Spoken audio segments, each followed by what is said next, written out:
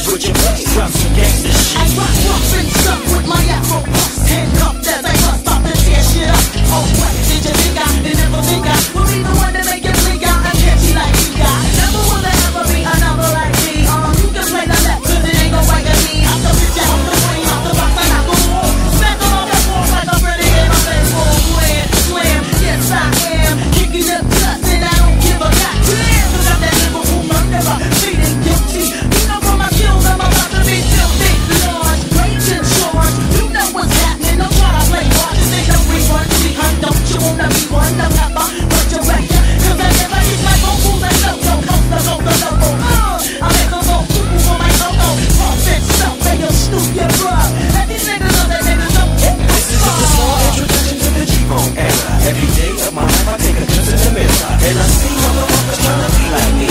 Ever since I put it down with the D-R-E.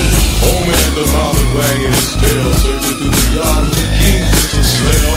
Looking for the business in the heat. And when they find it, he'll be sitting at the seat. We travel in packs and we do it from the back. How else can you